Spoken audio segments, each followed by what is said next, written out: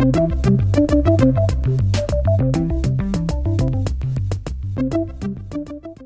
have 106 registered, so uh, excellent. Um, we're going to blow up Zoom with these things for sure.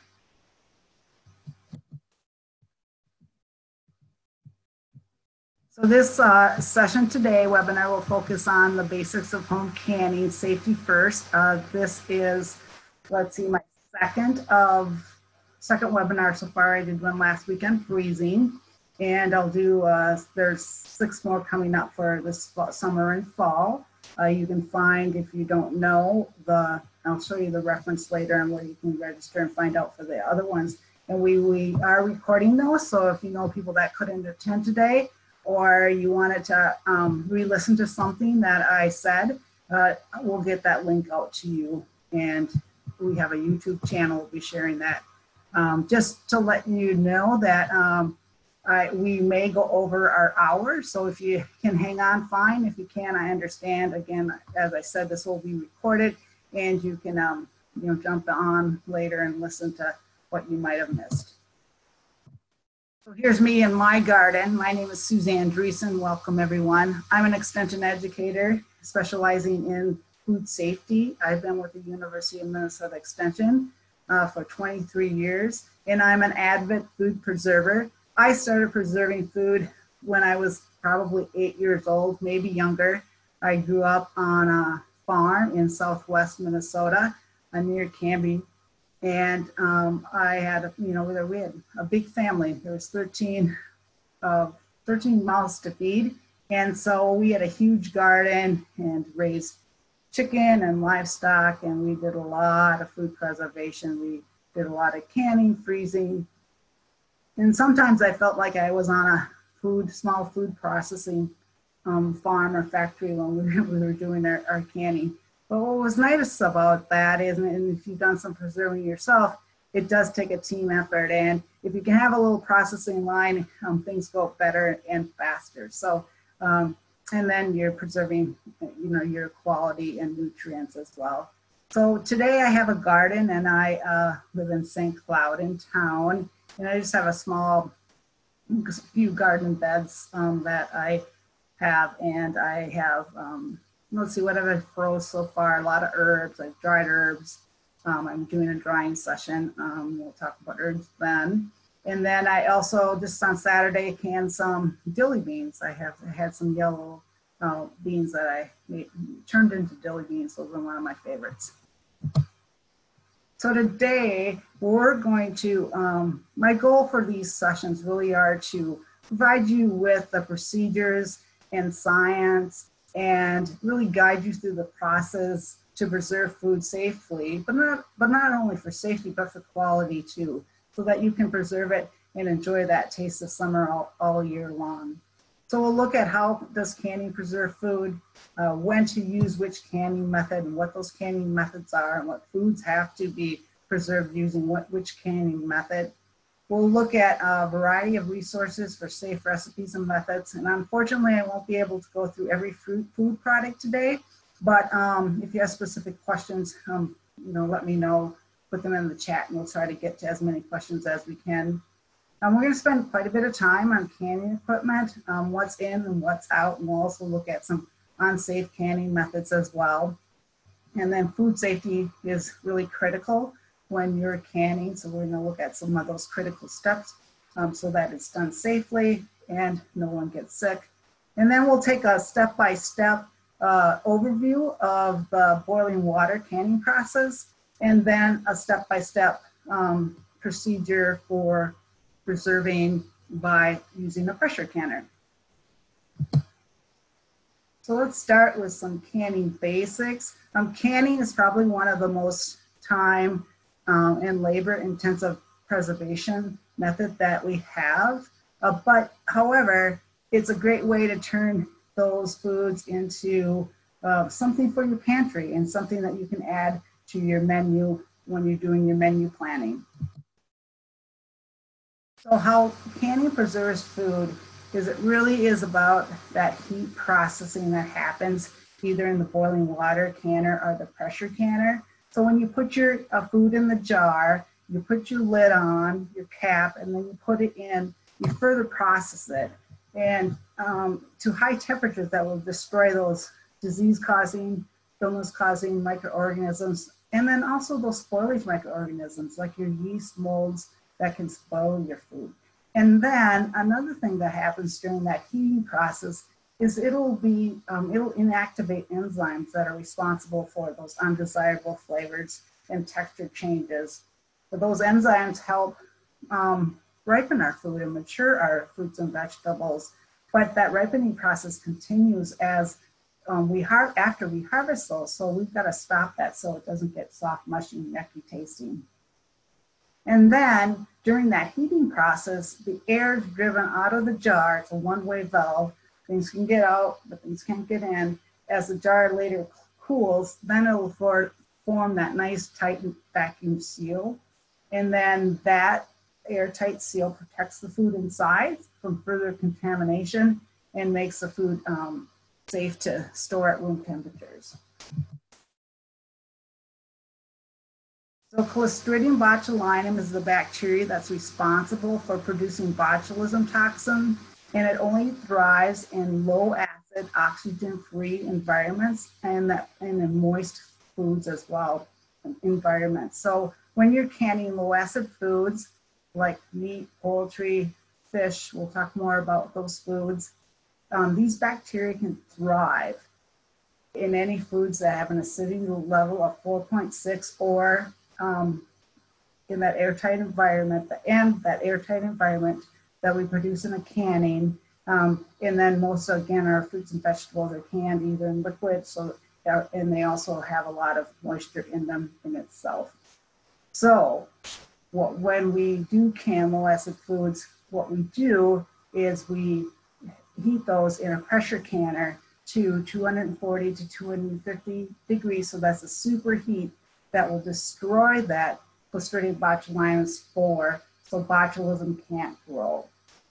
And know that that Clostridium botulinum spore does not germin, germinate in high acid foods like our tomatoes or, or our um, peaches, salsas, things that we add acid to um, Clostridium botulinum can't germinate in the uh, pH above 4.6 or below 4.6, so we can safely can those in a water bath canner. So let's just look at um, some acid foods that do require pressure canning. Again, those foods that will have a pH of 4.6, um, we have to pressure can in um, pressure canner to eliminate that botul that spore that causes botulism. So those foods include asparagus, all vegetables mainly, um, like asparagus, carrots, peas, corn, pumpkin, and then also um, green beans, but any of your dried beans. Um, if you're making a chili, that's going to need to be pressure canned, as well as meats, poultry, fish, beans, soups. And then when you're adding, doing any combination foods like meat sauces, uh, those will need to be pressure canned also. Now your recipe will specify which process is safe for that product you are canning. So it'll say boiling water or um, pressure canner. Some acid foods like um, apples and peaches, they'll give you instructions for both boiling water and pressure canner so you can decide um, that's for acid foods, but low acid foods um, will only provide you instructions for pressure canner use. So boiling water is acceptable for high acid foods. And again, that Clostridium botulinum spore won't grow in high acid foods. But why we further process it in, in hot water and boiling water is that we want to get rid of any of those spoilage microorganisms, uh, deactivate those um, mold and yeast spores, and then also um, any heat sensitive bacteria like salmonella, for example. So naturally high acid foods like apples and foods with um, added acid like salsa or pickles, they'll have a pH of 4.6 or below and can be, that's the acidity level, and can be safely home canned using that boiling water process. And then other foods that are, can be safely canned in uh, are high acid and can be safely canned in a boiling water canner Um, again, most fruits, fruit jam or jelly, fruit pie fillings, pickled vegetables and cucumbers, relishes, salsa, tomatoes, and fermented foods like sauerkraut. Uh, just to note that um, I know there's a few people that are doing some pickling, that some recipes for pickling will um, use the boiling water canner, but the recipe says that you can uh, process those at, instead of two, of 212 at boiling, at 180 degrees for a longer period of time, and that's to help maintain that um, crunchy uh, pickle for quality. And then whether you're using the pressure canning method or water bath canning method, um, altitude is a food safety consideration when canning. Most canning recipes are developed between zero and a thousand feet, uh, and it's fine to use the processing times and methods for zero to 2,000 feet if your location falls within these parameters for altitude, but for altitudes above a thousand feet, you have to add more time um, for boiling water canning or you increase the amount of pressure if you're pressure canning. And the reason for this is that water boils one degree lower for every 550 feet above sea level. So like where I live in, um, in Minnesota, our mean elevation is 1,200 feet. In St. Cloud, where I live, we're at 1,030 feet. So I need to choose pressure canning processing, our, our processing times for either water bath or pressure canning for um, 1,001 to 2,000 feet. Now, in some canning books, the, the um, altitude adjustments will be at the beginning of the book and not in each recipe. So just remember, it's usually you will usually add five minutes for um, for our Minnesota altitudes, or you're going to add five pounds of pressure, or we're going to we're going to pressure can at 15 pounds um, in Minnesota.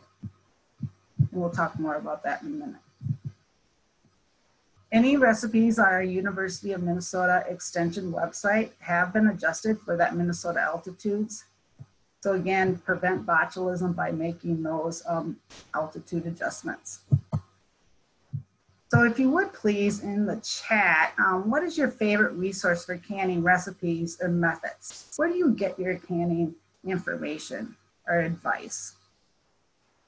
You want to pick out a few, Lisa? Yeah, recipe books. Um, the Ball Blue Book, which I know you mentioned uh, in your presentations. Um, someone said their mom. They would like another resource. Uh, the U of M, yay. Uh, a couple more for the, the Ball Canning Cookbook. My grandma and my mom. Uh, old thrift store books and the internet. Mainly recipes from my grandma a lot of family recipes, old cookbooks, things like that are being mentioned. All right, good. Thank you, Lisa. And thanks everyone for sharing. Appreciate that. And I expected all those responses, so that's excellent.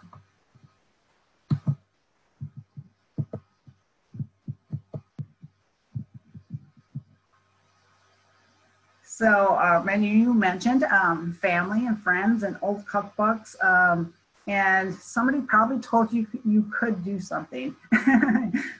And uh, people in my just my little family and friend circle have been doing a lot of uh, food preservation, and many times they'll say, "You did what?" because it was, you know. So anyway, that's why we're here today. But according to the National Center for Home Food Preservation. 51% of home food preservers rely on family and friends for recipes and information. So grandma may be sharing what she learned from her mother, which is now outdated. And again, there's lots. Um, many of you said you've got a lot. You um, look for the internet, and that's our you know first instinct. Let's search for it, right? Uh, there are lots of scary and unsafe methods though on the internet. So just because it's in print doesn't mean it's safe. And using uh, credible and reliable food preservation recipes is critical so no one gets sick. And, and it'll also limit our you know, eliminate any food safety worries you have. If you're doing exactly by a credible research tested recipe, you're golden. You're going to be safe. uh, you can also, if you, if you are using, you know, you have that favorite re um, pickle recipe or a recipe from that's passed on through the generation, those heirloom recipes, uh, you can always verify that with a tested recipe to see if the processing times are the same, to see if the um, ingredients are about the same. And otherwise, you can call our answer line and verify the safety of those family recipes, our internet searches. You can directly call um, or, and talk to an extension profess- professional. Uh, it's staffed by our uh, Iowa State household professionals and they'll answer your questions about food safety, canning, any other food preservation method, and any other household um, things that you've got going on. Um, if you get water damage, those kind of things, they can walk you through that. It um, Minnesota has um, this is our if you live in Minnesota, you, this is the number you use. Um, it's also a service that um, South Dakota and Iowa subscribe to and they have different different numbers as well. So the information there is there. Of course, it's a Monday through Friday, and you're never doing canning um, during the day, right? But you can always leave messages for them if you call with outside of the business hours, and then you can email your question as well too. They do have a on their website that I have on the screen. They do have um, frequently asked questions. Just click on food preservation and then they also have from there um, on their website, you can subscribe to their blog, which um, has a lot of timely and seasonal updates. It's a really great blog that'll, the post will come into your email. Other, uh, some of you mentioned that you're looking for other resources, and this is um, where we'll talk about those. And again, to prevent botulism and any food safety worries and to produce the best, tastiest product out there, use those shared um, tested resources.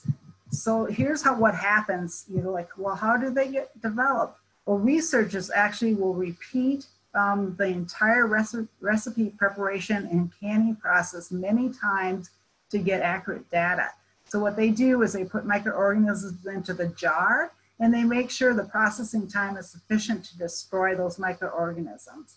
So again, to eliminate your food safety worries, um, tested resources are include anything from the USDA, the safe um, or the complete guide to home canning that's available um, for download free. And the National Center for Home Food Preservation um, is out of the University of Georgia, and they do the uh, canning and food preservation research for USDA. And they also produce this So Easy to Preserve, that book that you'll see in your screen. I think it's um, $20, but it's got all of the food preservation methods in it. It's a great resource in the publication. I love it. But on their website, I'll show you in a minute, they have all kinds of um, free resources and recipes. Excellent. And then um, any of the university or extension websites, if you do find blog, there's some, there are some good blogs out there that usually will reference USDA or uh, university and, and um, those are fine. But if there's something that you're like, huh, that doesn't sound right, it probably isn't. So look for, look for a different resource. Um, the Ball Blue Book that was mentioned, but there's many, many versions of that. The other thing is that um, you also want to look at the date of those resources and publications because you want to choose something that's printed, um, printed from 1994 or later or newer. And because earlier directions, they don't have the current methods and processes, uh, we were seeing more outbreaks in the 19, um, 1970s. So research was redone on canning recipes and so the processing times were updated and released in 1994. So those old family, family recipes may be outdated and under processed.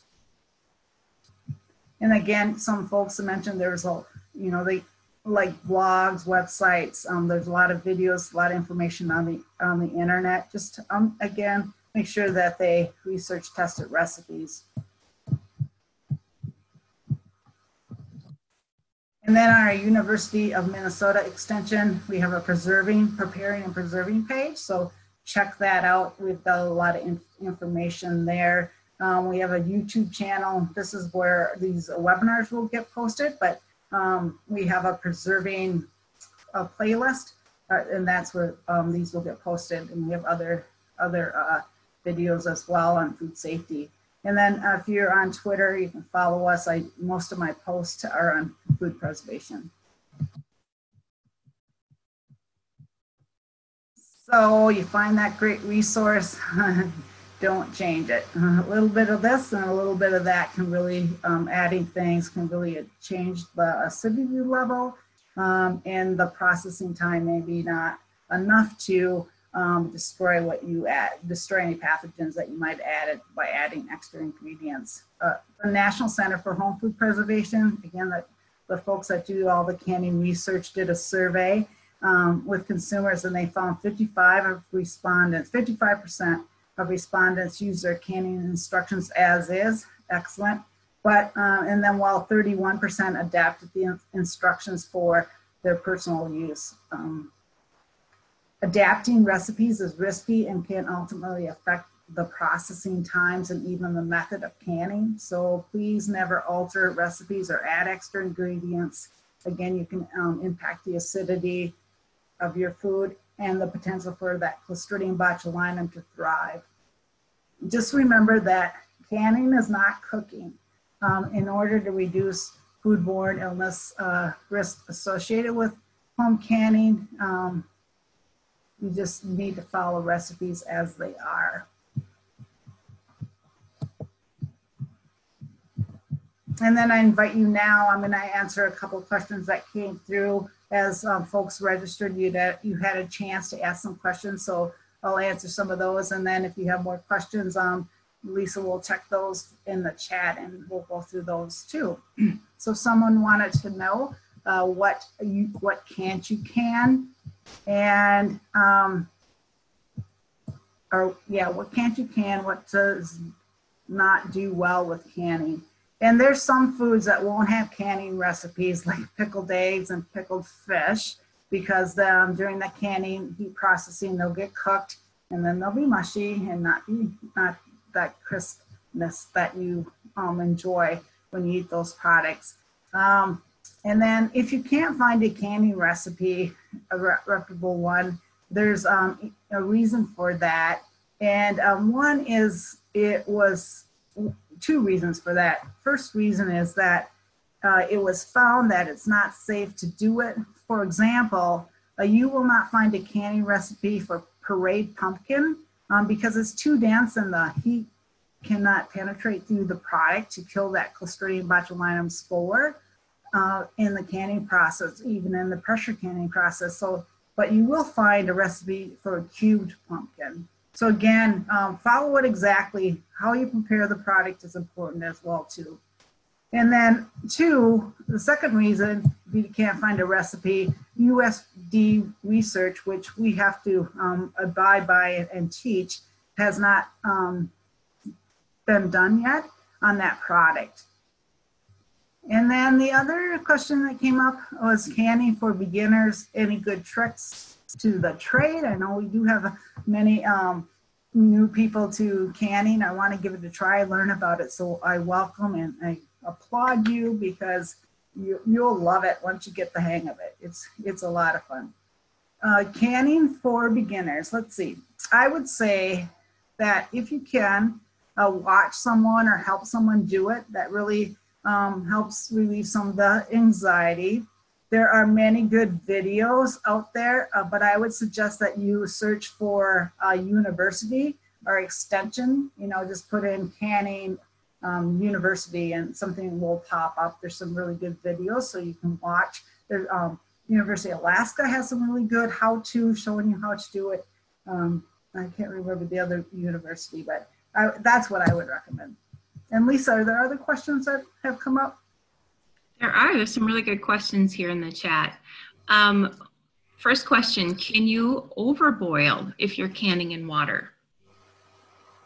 So overboil, that's, um, you, um, we'll talk about the boiling water, but um, you want to, as soon as it starts boiling again, set your timer and then you can turn it down. It doesn't have to be that rolling boil. So um, yeah, usually not. Um, it's usually not a problem.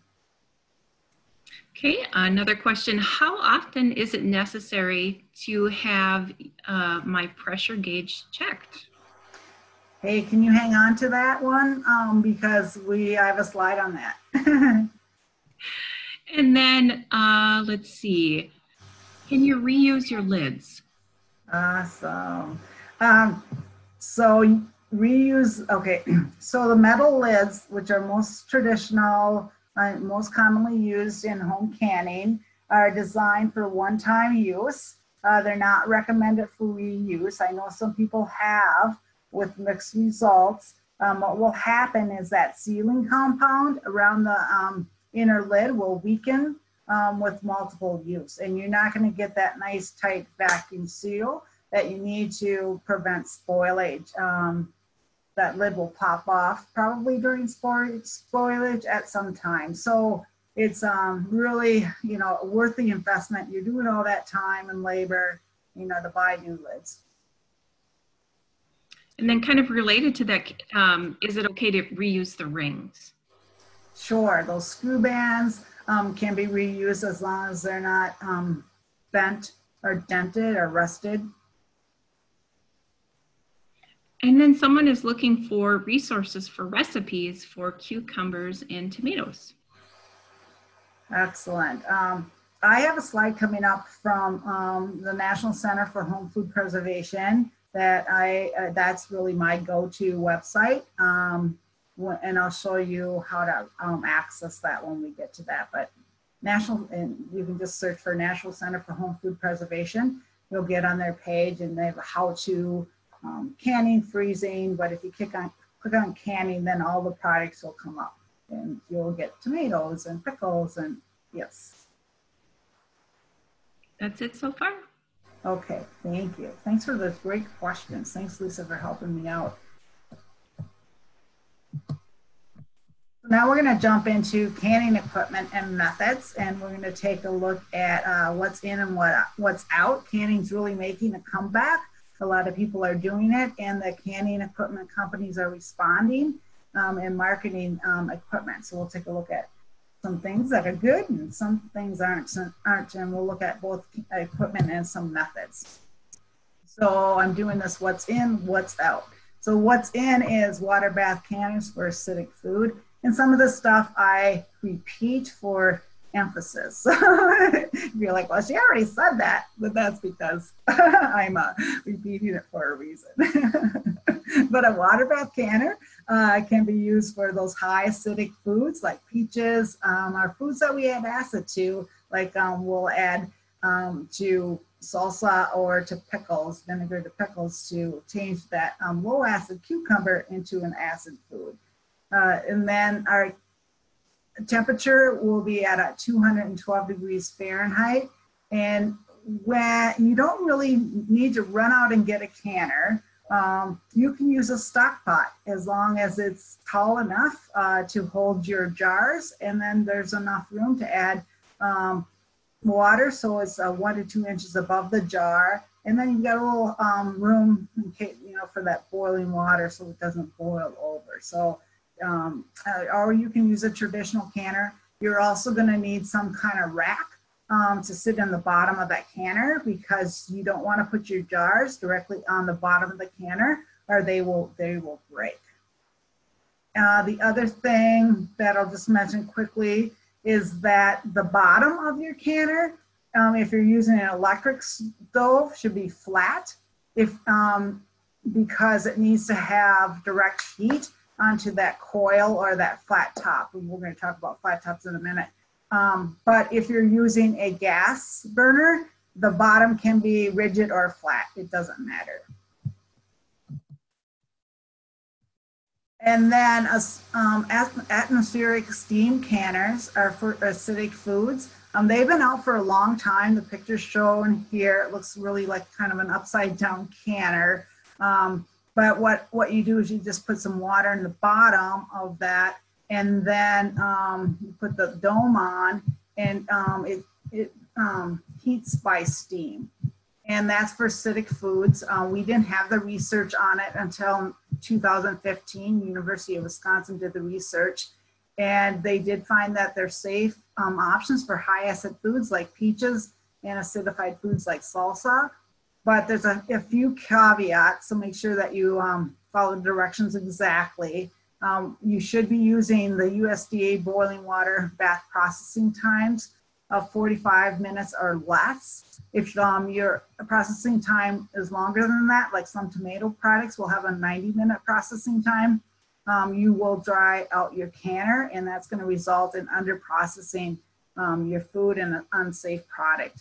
The other thing with these canners is that steam canners that you have to preheat your jars um, before filling and then vent the canner um, so it has a full column of steam before you start your processing time. But if you're interested in that, um, some people find them easier to move around and um, like them. So um, you can search for guidelines for using an atmospheric steam canner by the University of Wisconsin.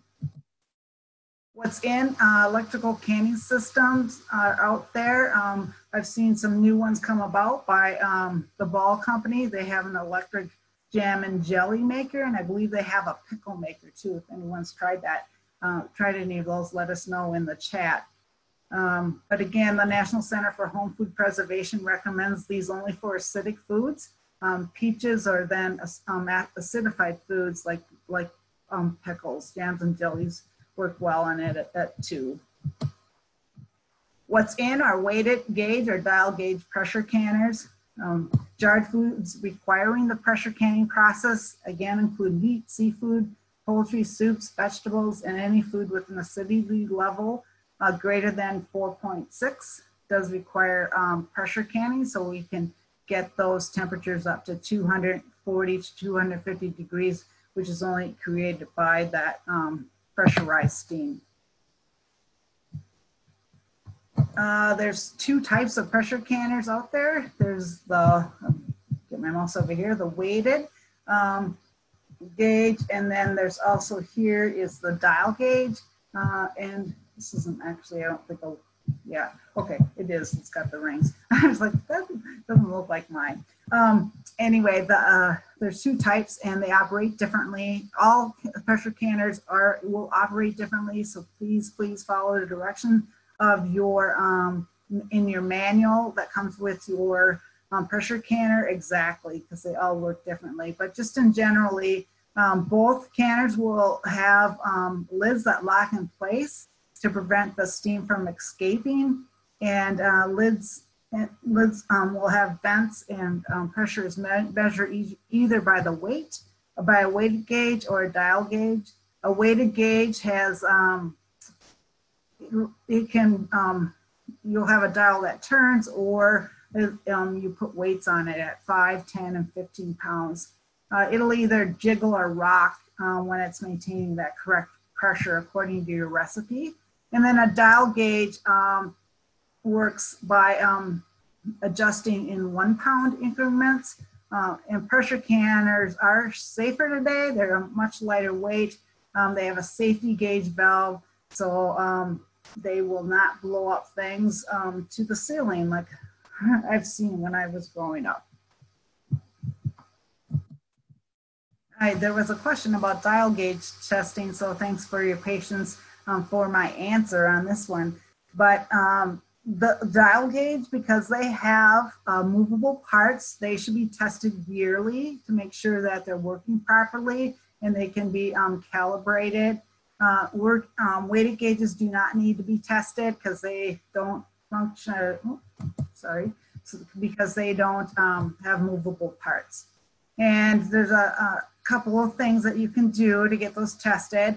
Uh, we do have, I think, about 15 extension county offices in Minnesota that do do pressure gauge um, testing. So you could um, call and check with them. Otherwise, you can chat, um, send in your gauge, and we have information on how to do that on our extension um, website as well too. You can search for testing dial pressure gauge, and it goes through the instructions on how to send that in. But um, Presto will, will do that for you free of charge. And then what's in question mark, question mark is food glass or ceramic um, portable flat stove tops.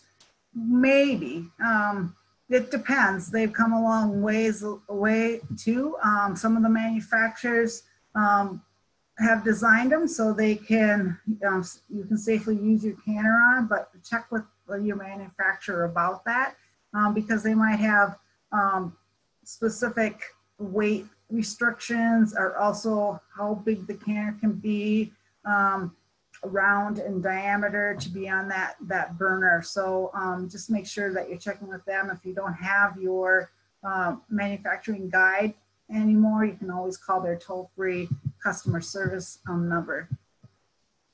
But the other concern with um, some of those um, smooth cooktop stoves is that they'll have an automatic cutoff um, on their burners when the heat gets excessive. And that if that's option is built in, the burner under the um, canner will shut off during the process time. And then that product may be under processed and could be a risk for botulism. So check that out as well. Um, and then damage to the glass top surface can happen from um, excessive heat and weight. Um, I actually had mine um, crack. So we switched it. I got to get a gas stove instead. um, and then let's see, what else do I want to say? Um, on all electric ranges, I think I mentioned this earlier that um, the canner bottom needs to be flat so we have that direct heat. And then for all ranges, uh, um, gas or electric, you want to make sure that the burning element on which it's heated um, matches the size of your canner. So the, um, your canner um, shouldn't be um, bigger, any bigger than four inches. So, and it shouldn't extend more than two inches over the side of that, that unit. Um, some of these glass top um, have have more restrictions, like they, they don't want it more than an inch over. So just again, check with your manufacturer about that um, size requirement. And what's in, um, there are some induction compatible pressure canners available for induction gas, electric, and smooth top ranges. Um, this one happens to be by Presto. Uh, and what you can do with um, pressure canners, um, all pressure canners can um, function as a boiling water canner. Um, you wouldn't put the lid, um, you wouldn't lock the lid in place, but you could, you know, use it for boiling water purposes. Um, what's in canning jars and lid systems? Uh, to can food, you'll need clean canning jars and, and a canning lid system. We'll talk about a couple of systems available. Um, the one that's used most of the time are these metal um, two-piece lids and one-time use lids, and then the ring bands can be um, used over and over. Uh, you can also use um, reuse jars if they're that mason type um, jar that's um, tempered and designed for extreme temperatures for home canning. Most of um, home canning jars, you can also, um, they also serve a dual purpose. Um, you can use them in the freezer as well.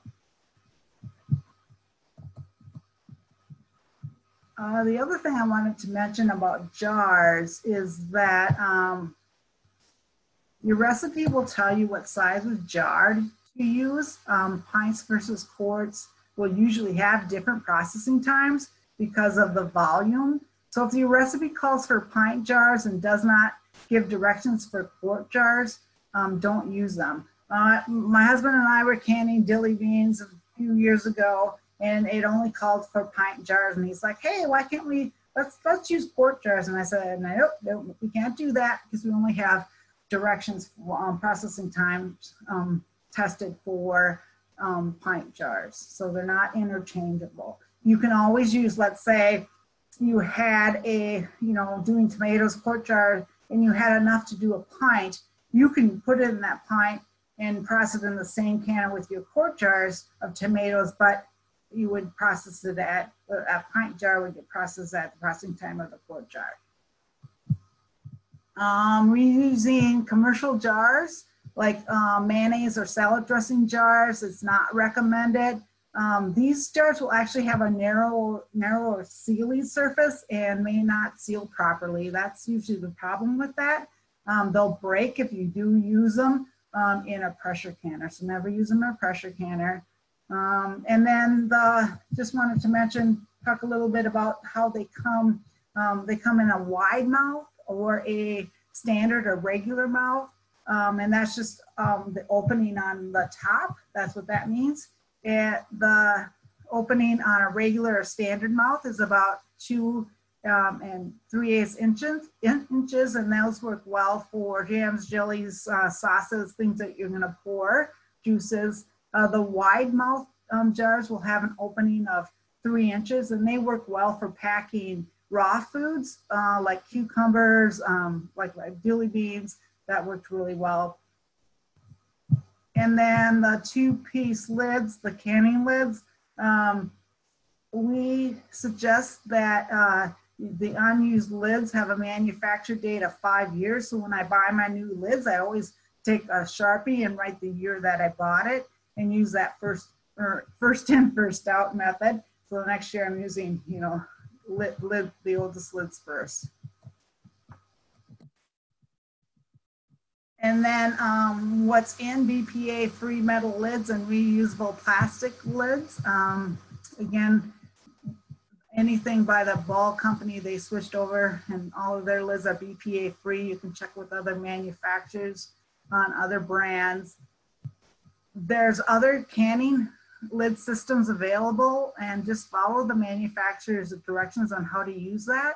Um, the, Nash, the ones you're seeing here called the Tattler lid and they're plastic reusable. The rings are reusable as well.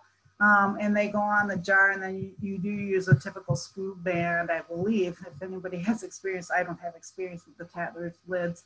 Um, but the National Center for Home Food Preservation, they did a study. They compared the Tattler reusable um, plastic lids to the um, regular canning lids, um, standard canning lids, and they want they were looking to see if um, the seals failed over time in storage, and what they found of the 900 the 192 jars they tested, two vacuum seals failed after one month, and two um, more seals failed at three months of storage with the Tattler lids. Uh, there were no seal failures with the metal lids. Uh, safety of the canning process does not depend on the choice of the lid used what's in. Um, this is another, I've seen these um, popping up all over um, in stores, the half gallon jars. And I'm like, hmm, I don't know a lot of people that can apple juice and grape juice. And because those are the only two products that can be safely canned in, in a half gallon jar, um, according to USDA guidelines and recipes. So um, no other food or juices can be safely canned in half gallon jars. They do, however, uh, make great um, jars for uh, dried beans or popcorn. So to can, you'll need a stock pot canner or pressure canner that works um, with your stove top, as we mentioned earlier, uh, and for that food that you're canning. There is a canning toolkit that's pretty inexpensive, around $20. I think it's worth the investment. Um, it comes with these convenient canning tools a jar lifter, which will help you move that filled jar into and out, out of the canner. Uh, this is called a jar uh, funnel. And um, this is really a helpful um, tool. Uh, um, jar filler um, is a helpful funnel to um, use when you're filling your jars so there's not spillage. Here's a tool here called a bubble freer. Um, and I'll show you one that I use that actually on the other side has a headspace measuring tool. Uh, you'll also need to use um, some, uh, you have a timer available and then other standard kitchen tools to prepare your food for canning. What's out is uh, gas burners um, with a BTU over 12,000 and um, for pressure canners. So BTUs is short for British thermal units and one BTU will equal the amount of heat required to raise the temperature of one pound of water by one degree Fahrenheit. Uh, the BTU capacity is listed on your owner's manual um, for stoves and ranges. So if you don't know your BTUs, uh, the average um, home stove for a gas burner will have uh, 17,000 BTUs per burner. Um, some burners are lower and some, some are higher. So there's a, um, you can get some burners um, that are monster burners on a range and they will go up to that 12,000 um, BTU. And then also your gas burners too. So if you're doing any of those um, with like a turkey fryer burner, um, check the, check the BTU, BTUs on that. The reason is that um, those LP gas burners that uh, are ranges over 12,000, what's going to happen is that super high heat's going to damage your pressure canner, um, especially the newer and thinner um, versions that are out there today. And it's going to warp and it's not going to be functional anymore. So that's that's kind of critical. Um, it's going to warp and, and not work anymore. So that's the reason for that. And the other thing that will happen is that it can, um, that extreme high heat can dry out your canner quickly and um, in, result in improperly processing of your food. If you're wondering the heating power of electric stoves, uh, they are tend to be measured in watts instead of BTUs. The largest burner on the highest setting um, of an electric stove is typically around 2,500 watts, which equates to about 8,500 BTU. So it's under that um, 12,000. Uh, what's out are pressure cookers. Uh, USDA does not have recommended processes for canning in small pressure cookers. Uh, the recommend, recommendation um, by USDA is that to process low acid foods, and a, you need a pressure canner that holds at least four quart jars. So pressure canner that holds at least four quart jars that are standing upright on the rack with the lid in place. A lot of our uh, electric pressure canners and uh, multi-cookers will have a, a, pressure canner setting on it.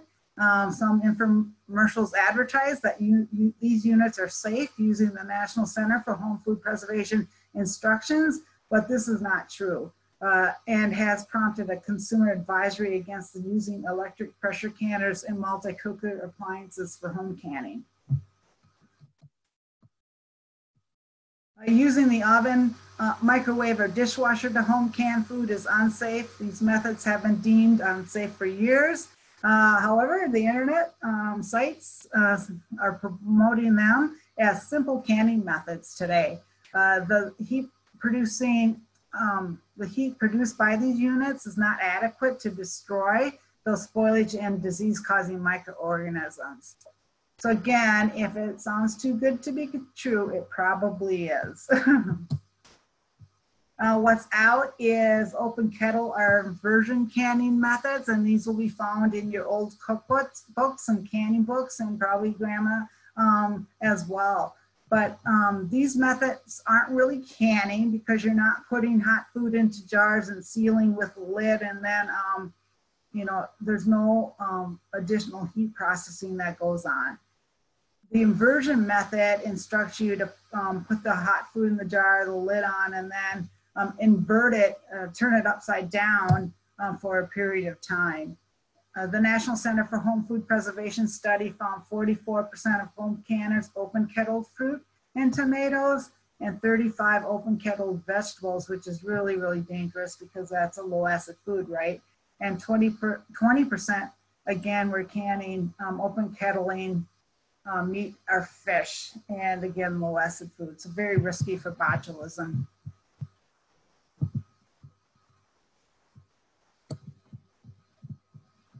Again, safe food preservation resources will instruct you to heat process your food product either in a boiling water canner or in a pressure canner to destroy those disease and spoilage microorganisms. Uh, there are some research, and someone asked this question when they registered um, about uh, the, this um, open kettle hot fill um, method.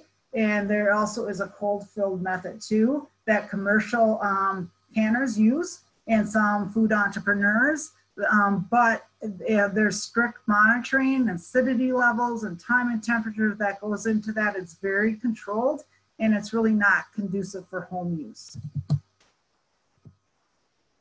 So if you would like to share in the chat, what is your favorite canning equipment or tool and why?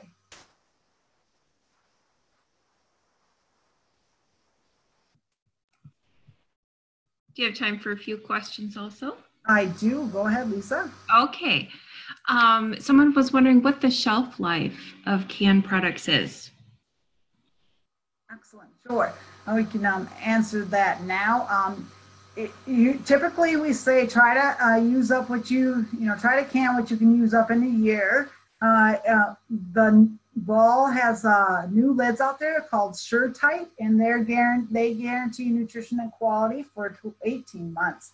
So um, it's up to you. I mean, indefinitely if the seal is still, uh, you know, tight when you open it, um, but um, the quality is going to be poor the longer you keep it.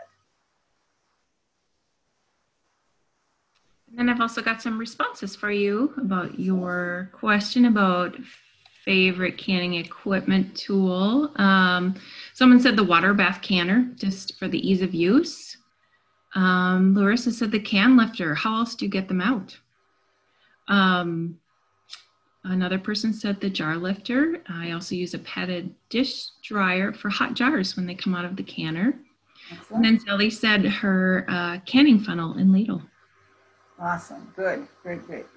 Yeah. Um, good question about the um, jar lifter, I was just thinking that how would you get those out? Um, I know there's some silicone long, you know, um, gloves that might work, but yeah, that could slip. So uh, yeah, I think that's the best tool as well for in, getting those jars in and out. Thanks everyone. Anything else, Lisa? Okay, we'll move on. Uh, so finally, let's get ready to can. Now, uh, as I mentioned, uh, we are probably going to go over here, so feel free to jump off if you need to. If you can stay on, great. Um, if, and again, this is being recorded so that we will um, post it later. We are recording it, right, Lisa? I forgot to turn it back on. Correct, yes. Okay, thank you. All right. Okay, so Food safety, yes, of course. When when processing, think about you're in a home canning factory. Okay, what's gonna what goes on in a um, commercial processing? You know, bring that um, into your into your house so that you're producing a safe product. Again, um, home canning recipes and methods are tested for those best ingredients. So you always want to use your fresh produce at its peak ripeness and quality. Uh, using um, produce that's free of uh, disease, bruises, um, cracks, insect damage is important because diseased or bruised products um, may harbor pathogens and the process time may not be sufficient to kill extra organisms contained in damaged or um, diseased produce. So use those, you know, um, cook those up, freeze them, uh, instead of using them for canning if they do have some damage. Don't use them for canning because the acidity level can be affected. Um, just looking at my notes, let's see, there's a lot to this. Food safety includes cleaning your produce well before use, uh, making sure that you're rinsing all produce under running tap water before you're preparing it to process.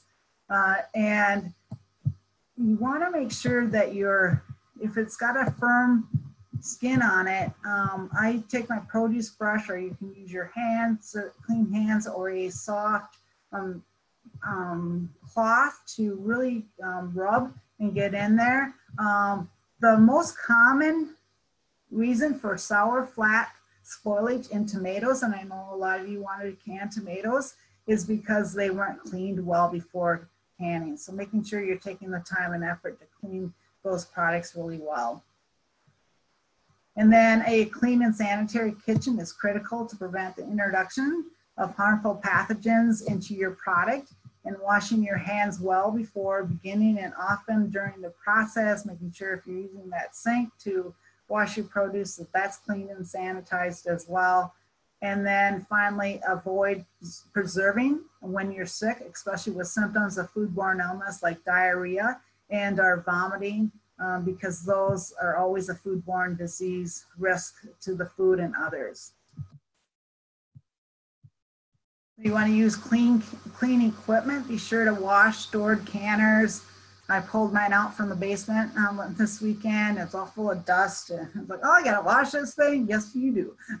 and um, jars, lids, and screw bands and hot soapy water uh, before using. Make sure you're rinsing well to get it um, off any of that soap residue.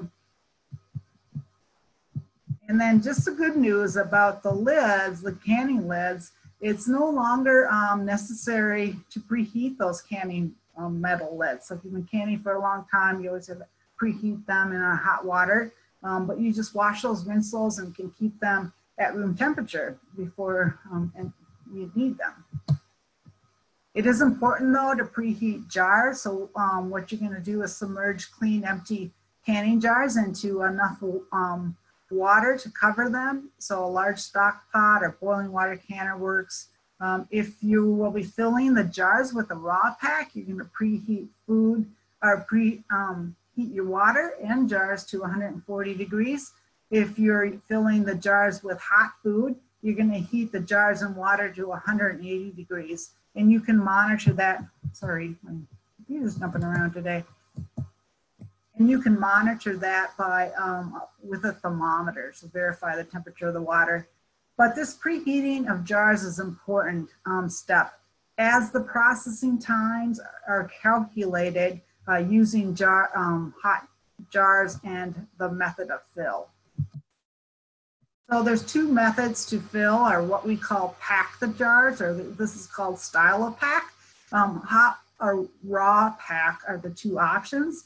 So um, we'll start with hot, hot pack. So hot packing means that you heat the food to boiling and then you pack the hot food and its liquid into the jars. Uh, hot pack is best um, for most foods to allow that air that's in natural, natural air that's in the produce to be driven out of the fruit or vegetable um, during the cooking, process. You'll be able to pack more food into the jar and you'll have less floating of product after you can it. Uh, in addition, that preheating uh, will help to retain your color of the, that fruit or vegetable and the flavor of the product. Um, in a raw pack though, some, um, some recipes like your pickle, pickles will be raw packed for quality. Um, you're gonna put those in the jar raw and then you um, will put um, usually brine or boiling hot water um, over that. Sometimes like if you're doing fruit, raw packed fruit, you'll do a, a syrup or water um, to cover the, the fruit. And then um, when you're raw packing, you wanna make sure that you're packing it firmly, but be careful not to crush. Um, otherwise you'll get floating floaters in your jar after you process those.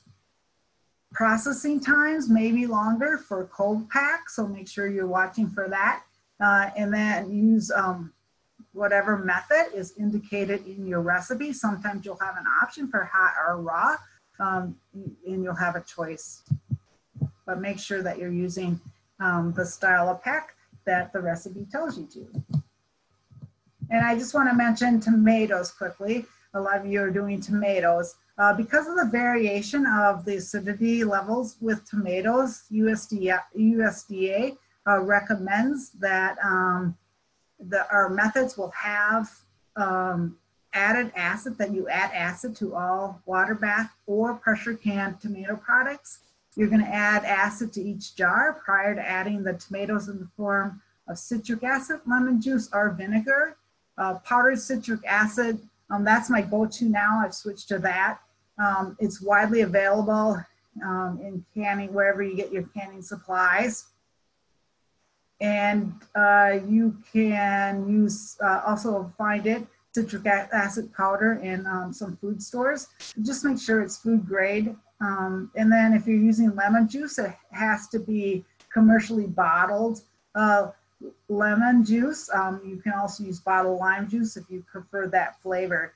As uh, but fresh lemons or fresh limes will vary in acidity, so you have to use that bottled commercial um, lemon or lime juice.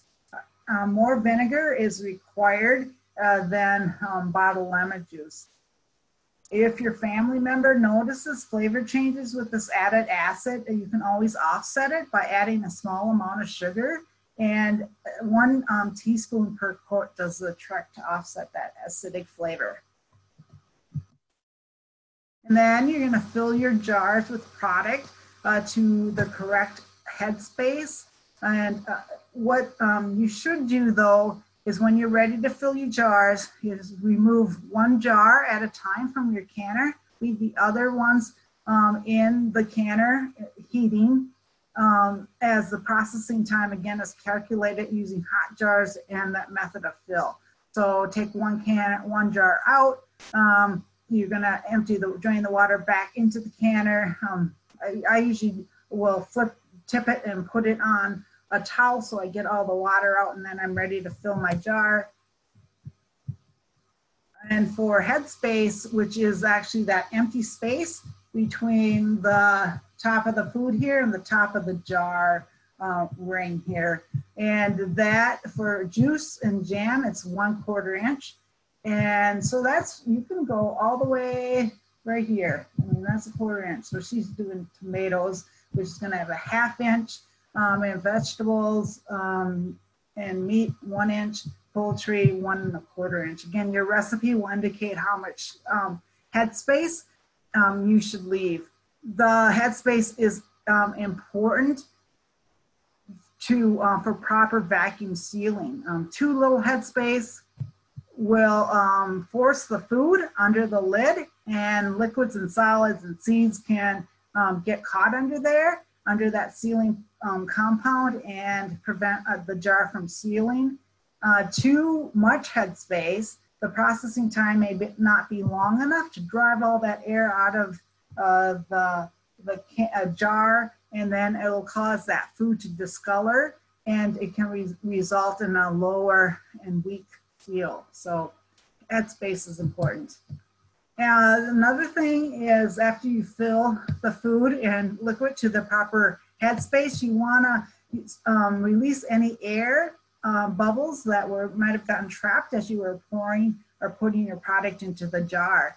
So what you want to do is take a plastic utensil or um, your kit. If you have a canning toolkit, will come with a bubble freer, and you're going to go along the um, sides around the jar and the inside and lift that product up a little bit to re, um, to get any air bubbles out. And you'll see them come out. They, there is stuff that um, gets in there. It gets trapped as you pour things in. Uh, you don't want to use a metal um, utensil like a metal knife because you can scratch the glass and it can get, you can weaken it and it can break during processing. And then you can adjust uh, your, you'll probably need to adjust the headspace um, after you remove those air bubbles. And what that means is that you would add more product or liquid to the jar. Um, and this bubble freer that's shown here actually acts as a, um, on the one end it's the bubble freer, on the other end it's a measuring tool for headspace. So that's kind of neat. And then you're going to um, take, after you adjusted the head space, you're ready to get your lids on. Um, and then you're gonna wipe the rim of the jar and also the screw bands. So I get nice wet and I wipe all around here and, and and the top of the rim um, to get out any spillage or any off any spillage or anything residue, food residue that might have spilled on there um, because that could affect the seal. So making sure you're doing that is really important. And then you're ready to apply your screw band if that's the um, lid system that you're using. And so for, um, you put the screw band on, uh, first you center the lid, put that on, and then um, your screw band, you'll um, tighten until you feel resistance, until it stops turning. Don't over tighten it um, as this can interfere with um, the air being driven out and um, escape from the jar and then you're, you're, you won't get that tight uh, or proper seal. So boiling water steps, we're ready to move on to that. Um, and I think it's always a good idea to, you know, kind of in my mind when I'm starting to can is like, you know, what are those top steps that um, you need to do? So let's take a look at that. Um, you're going to, uh, you know, you preheated your jars and you preheated your water and you filled your jars. Now you're ready to load your canner um, into the rack. So it, your jars are going to go into the rack. Uh, that jar lifter is that handy tool. Um, when you're lifting your jars in and taking them out of the canner after processing time, it should be an up um, upward motion. Don't tilt the jars again because uh, it can spill into the sealing area and not, um, the lid won't seal properly. So make sure that you're keeping them upright when you're transferring to the can, like in and out of the canner. And then for boiling water canner, um, if you need to add um, more hot water, so boiling, I usually have a pot of boiling water on the stove because you want to cover the jars and to be covered at least with one to two inches of water above the jar. So you have that, they're, they're in a water bath. That's why it's called that. Um, make sure you allow more, like two inches um, above if your processing time is longer than 30 minutes because um, you know, the water will evaporate during those longer processing times. And then you're gonna turn your, you're gonna put the cover on, turn your heat on high. And then um, each canning recipe will give you that specific amount of time that you need to water bath or pressure can your product. And again, these are research um, tested to destroy those microorganisms. And again, it's affected by how you pack it and the how thick the food is, how dense it is, the acidity level of the food, the size of, of the jar. Those are all um, built into how long you process your food. Um, it ranges from um, you know five minutes to 90 minutes with some um, some products. So then you'll um, start your timer for your processing time when uh, the water returns to a rapid boil and um, you maintain that complete boil so you can um, turn it down. It doesn't have to be a rapid rolling boil, but it has to be a nice steady boil.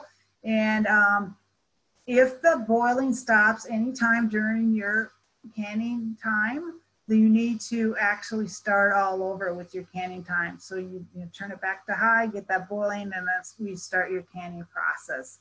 So um, let's make sure, that's why I just really monitor, make sure I have a nice, nice steady boil throughout.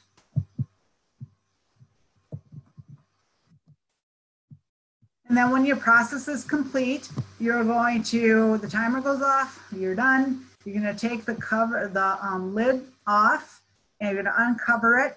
And then you're gonna let it sit there for five minutes, okay? And the reason for that is um, this is a recommendation actually by um, the company that makes the two-piece lids um, so that you don't have boil over um, of, uh, you know, because it's still boiling in there and it can break that seal. So just let it kind of settle down and then you'll remove your, then you'll unload the canner and you're, you're going to use your jar lifter, uh, removing one jar at a time, keep them in an upright um, position and then move them to a towel or a pad. Said they had a padded surface a cooling rack.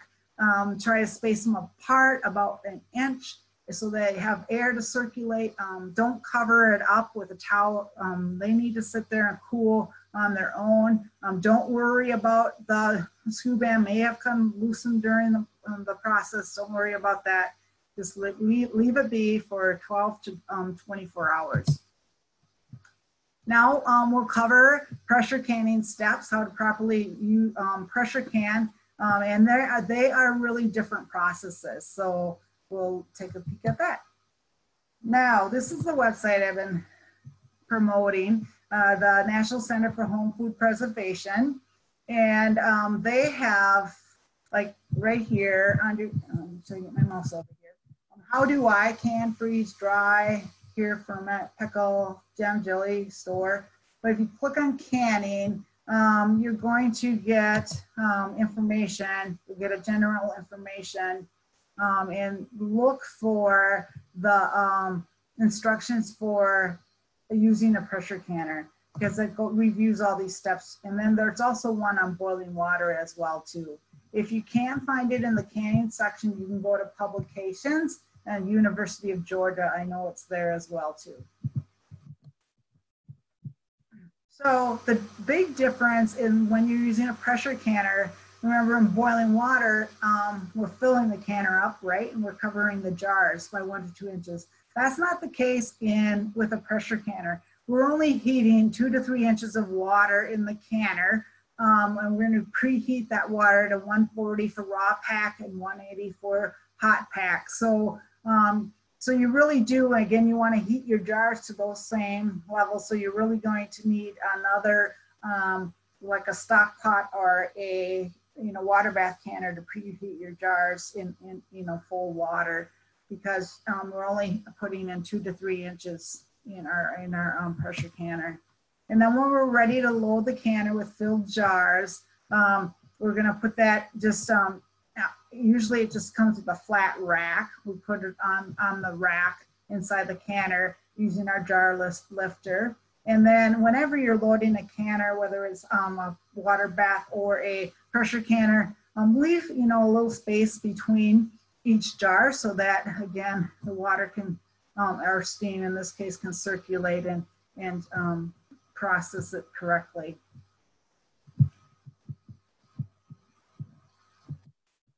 And then once the um, canner's loaded, then you're uh, ready to put on the lid and it's gonna flat, um, fasten into place and click into place um, and lock into place. And you wanna make sure that it's, it's even and on there tightly.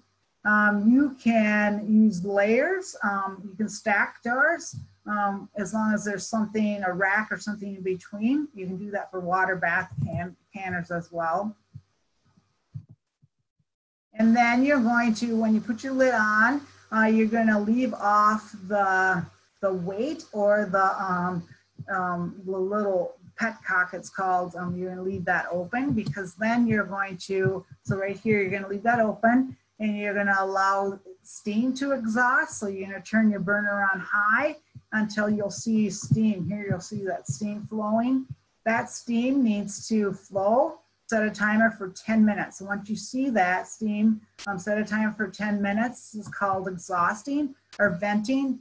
And uh, this is a critical step as it drives air from the canner so it will pressurize. So that's a critical step. Um, and then after that 10 minutes, you can um, put your weight on or close the um, petcock if you're using a dial gauge. And then you're gonna let the pressure rise. Uh, that's indicated in your recipe. So um, in Minnesota, our dial gauge um, will usually be set at 11 pounds and our weighted gauge is at 15 pounds. And then um, your recipe will indicate how long you have to keep it at that pressure.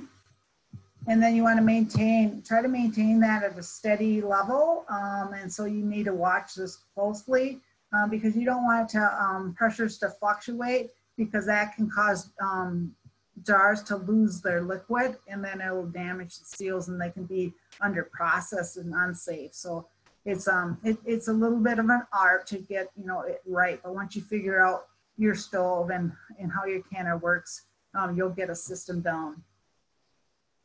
And then again, just like with boiling water, if you lose that pressure, it drops below the level for that safe processing, um, then you need to start all over again. And then when your time is up uh, and you know your timer went off, then you're gonna, going to um, turn off the stove. So turn off the heat. And then you have to let your um, pressure, your canner depressurize on its own. So uh, what you're going to do is just, uh, you know, let it be. And this one um, here will drop to zero. And um, for weighted gauge, follow your manufacturer directions. You know, this can take up to an hour. So it's, it, it's something that does take some time. Um, and then um, you want to make sure you're not force cooling. Some people like to place the canner in the cold water. Uh, that force cooling will cause the jars to lose liquid and again may damage their seals. So, you know, just be patient and it'll also lead to underprocessing and unsafe a safe product. Uh, when the pressure has reached zero, then you can remove that weight um, or open the petcock. Um, again, for dial gauges, follow your manufacturing instructions for how to depressurize your canner. Then um, after you open that vent, uh, you gotta let it steam for 10 minutes. So get, it's really hot. So you wanna get that um, steam out for 10 minutes. So that's another 10 minutes. And then you're gonna unload your canner after those 10 minutes.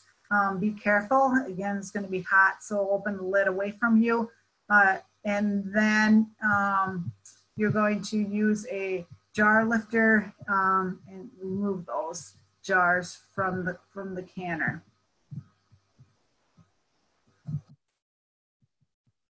When you store, um, we'll talk a little bit about um, how to store and use products. We're, we're getting to the end, so thanks for hanging in there, everyone. Um, the first thing after you've let them cool for that 12 to 24 hours, you're gonna check the seal. Um, and what you're gonna do is, uh, if you're using this type of system, the um, two-piece metal lid system, you're going to press down in the middle and it should be um, concaved um, and then if you press down, you should not hear a clicking sound. If you hear a clicking sound, it didn't seal. And we'll talk about what, you, what your options are for not, jars that didn't seal. Um, and then I always remove the screw band and, and as I'm showing in this picture, what I'm doing here is actually I'm pulling up on the lid, making sure it's tight. And if it comes off, that's something didn't, it didn't seal right, but it shouldn't, shouldn't budge at all. And if your jars didn't seal, you have uh, three options. And one is that you can reprocess um, using a clean jar, a new lid, uh, within 24 hours of processing. And option two is you can refrigerate um, that product. Uh, and then option three is you can store, transfer it, um, or store it in a freezer in the freezer, probably in that jar um, if it's freezer safe. And then, but you will need to readjust your headspace to one and a half inches. And then this is also often a, a forgotten step, but um, before you put it in your um, pantry, you want to make sure that you're um, washing the jar down. Um, take a, a, soapy wet um, cloth, clean cloth, and wipe it down really well and the reason for that is you want to remove any um, residue that um, is on that jar and um, pay attention to the um, screw band threads. Um, wipe that down well because it, anything, any residue left on that can mold during storage. And then you want to date and store uh, your product. Uh, the screw bands, I never, um, I leave those off during storage. Um, you can leave them on, but um, they may rust. Um, but I take mine off and um, you can store them again for 12 to 18 months. Uh, you should store them in a cool, um, dark, dry place. And the temperature is about 50 to 70 degrees is best. Um, don't go over 95 degrees because heat is, you know, can really um, damage the quality and um, destroy nutrients in home canned products. And um, the risk of spoilage really does jump uh, the hotter it gets in there. So, and so don't store um, near, near hot pipes, a range, a furnace, insulate, uninsulated attic, or in direct sunlight. Uh, under these conditions, again, the food quality um, will be lost just within a few month, a few weeks or months. And then a light is also very damaging um, to nutrients and um, and color as well too. And you can store again up to um, one year for best quality, or if you're using those SureTight uh, lids by um, Ball, you can use it, um, you know, they'll store up to 18 months. But again, it's indefinitely, I always, when I put my, um, I have a canning cupboard and I'll do that first in, first out. So I move stuff in the back that I can last year if I still have product, I didn't have much um, and move it. So I'm using that first. Uh, the, somebody asked when they were signing up, um, when, when can you eat the stuff? um, so when you can, something usually you're doing it for to use it late, you know, later on. Um, but you could eat it right away. Some um, products, so like your pickle products, they need to um, meld their flavors and get that nice, you know, pickly flavor. So usually pickles, it's three to four weeks before they're ready to eat. And then for um, before you eat your product, make sure that you're checking to make sure that that seal didn't break or become loose during storage. If it did, um, don't use it, um, discard it. And if there's any indication of, of spoilage, um, please don't taste it um, because, um, you know, even, you know, tasting it, um, it, botulism, the food doesn't look bad, taste bad, smell bad. Um, just one one small taste can can be enough to to cause Ill, illness. So, and then when you're discarding um, home canned food that um, you're not sure about that it's spoiled, um, you know, be careful doing that, and also don't um, you know discard it where animals can access it. They can get botulism too. So, and then don't compost um, that as well. And then as an extra precaution, we recommend that you boil uh, pressure can foods on the stove for 11 minutes. And that 11 minutes is for Minnesota altitudes um, before eating. You know, it, the, the good news, if you made a mistake during processing, um, the extra step of boiling will kill that botulism toxin. The spores are only killed at um, 240 to 250 degrees but we can, um, if we're boiling that product at 11 minutes, if it did get botulism toxin um, in it, we can, we can destroy that. So in summary, uh, credible recipes, right? Credible, credible research tested recipes. The year, um, look for resources 1994 or newer. Um, we're gonna follow those processing times and methods exactly. We're not gonna add any more of this or any more of that. Um, and then we're, yeah, we're going to have fun. We're going to can. And I say, yes, you can can.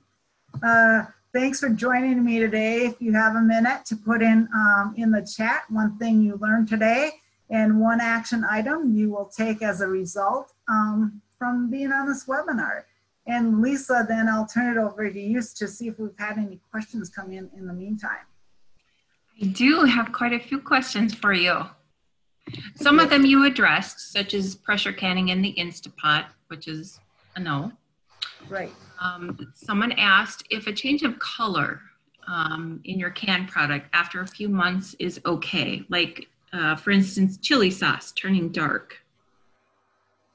Right, yeah. And again, it'll depend on your temperature. Um, uh, and, and if it's exposed to light, light will damage that color. It could be um, also um, we talked about the headspace. So if we have too much headspace in there, um, that can darken product as well too. So those are a couple things to think about.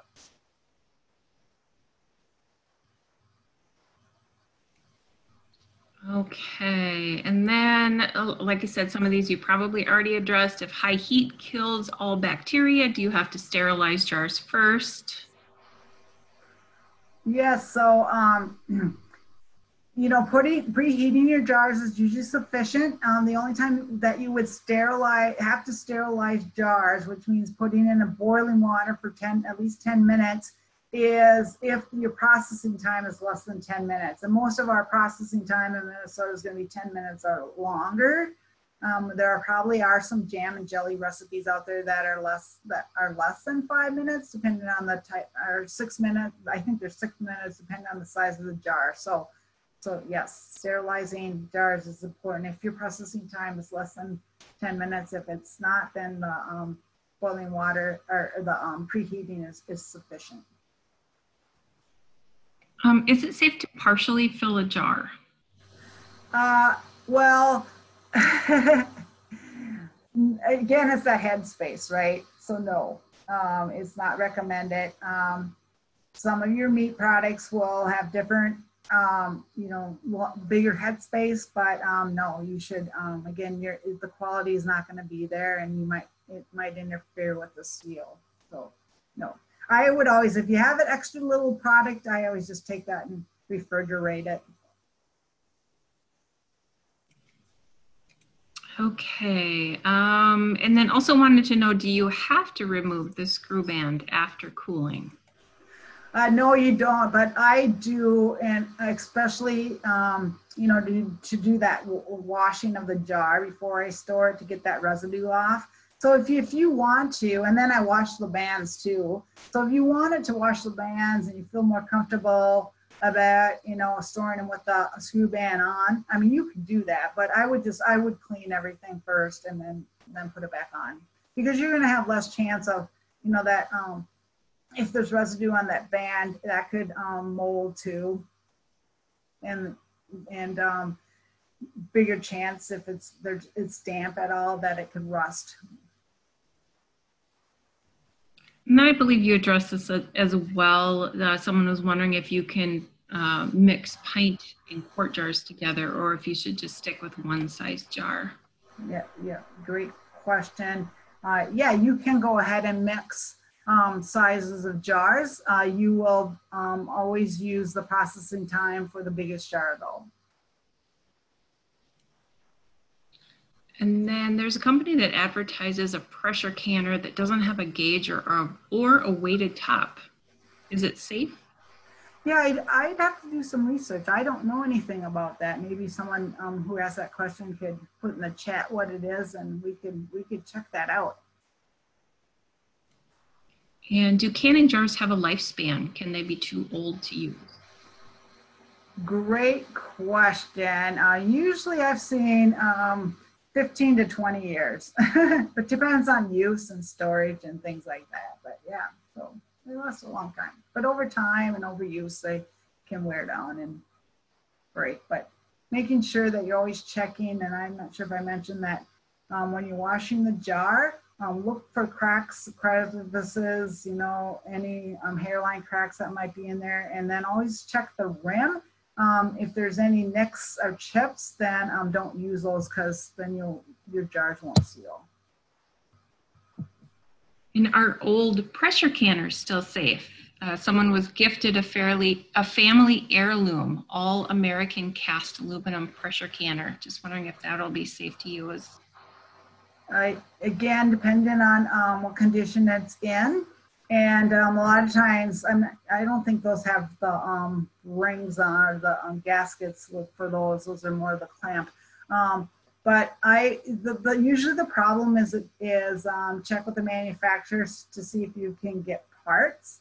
Um, so I would start if I'm going to use that. I would just um, do some wa- uh, start with just water and just test it out with uh, fill jars of, of water and and you know a few of those and then just to test it out first, see how it's working.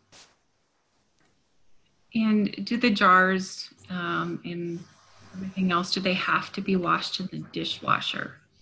Uh, no, they don't. You can use the dishwasher, but um, I just I don't have a dishwasher, so um, the dishwasher.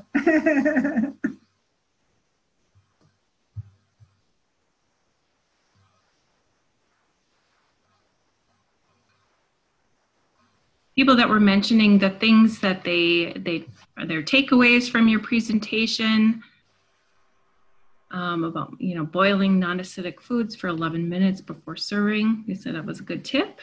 Uh, not to tweak the recipes. Uh, can you give one more description of testing the lid and if it clicks? Um, sure. Maybe we'll go back to that slide. Um, well, maybe this, and and in this here, I don't know if you can see it, but it's like um, flat. And if it's, um, I'll have to take a picture of that, of one that's not, because it's going to have a raised little bump on it if it's not sealed. And then, um, oops, going back here. I'm not making you guys dizzy. Oops. Um, I was just trying to find that slide. And if anyone in the chat wants how they check, but so, um, you know, if you take your forefinger and press in the middle, it shouldn't press down and, and um, make a noise or go up and down. Maybe, maybe they don't all click depending. Um, but um, yeah, so it shouldn't make a sound. Um, and then there should be, it should be indented, you know. Yeah. Sorry, I'm not sure how to, how to explain that better. Is there a way to seal dehydrated foods in jars? Uh, yes, there are. Um, you know, there's different uh, like vacuum things that you can get to remove all of the air out of there. I'm not as familiar with that, but we've got a dehydrating session coming up and I'll do some research. So join me for that one. And then someone was wondering if darkened food is safe to eat. Um, again, check your check your um, lid. Make sure it was a, a nice tight seal, um, and that there's no indication of spoilage. Um, darkened food will happen over time. How long it's been in there. Um, I know even some product I can last year is much darker than what I put in there this year. So just that time will, will it'll just naturally do that.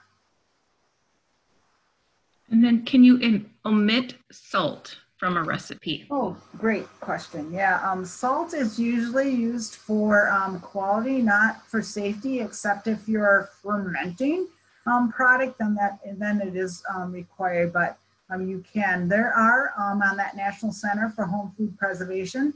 They under canning they have some reduced salt recipes and also some low sugar recipes as well. So again follow uh, um, if you want to use reduced salt or reduce um, sugar um, you know use a recipe that's been tested for that that'll be for the best flavor as well uh, someone was wondering if we could share the YouTube video for the freezing webinar, and I'm wondering maybe what we could do is just email everyone that joined us today the link to the YouTube channel and the additional hands out, handouts and things so that people will have those um, for reference. Yeah, that's excellent. I think we, I don't know, Lisa, if you had a chance, we do have a couple of really good reference um, sheets on canning, uh, one on acid foods and one on um, low acid foods that have the, the jar size, the style of pack, the headspace, and then the processing time um, and pressures. So that's going to be a helpful handout to send as well. Yeah, I'll make sure that everyone gets a copy of of all of that information. And then it just, people were just commenting how much they just uh, got some good information, just really enjoyed, enjoyed the webinar today. When I was setting this up, I'm like, oh, I should really make them an hour and a half because there's always so much to say. Um, but please join if you can in some upcoming webinars. Uh, we got pickling, free um, tomatoes, drying, preserving fall vegetables and fermenting coming up. So um, yeah, if you have any suggestions for other topics that um, aren't on the schedule, um, we'll probably end up um, scheduling some more at some point. So uh, thank you for your time. Thanks for hanging in there. Thanks for your great questions and information and sharing with everyone. Um, we always uh, learn from each other. So appreciate your time today.